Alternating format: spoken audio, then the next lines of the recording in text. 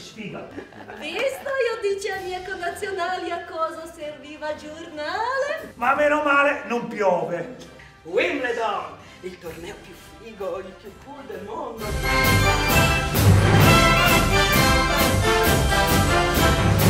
Ragazzi, siamo degli splendidi.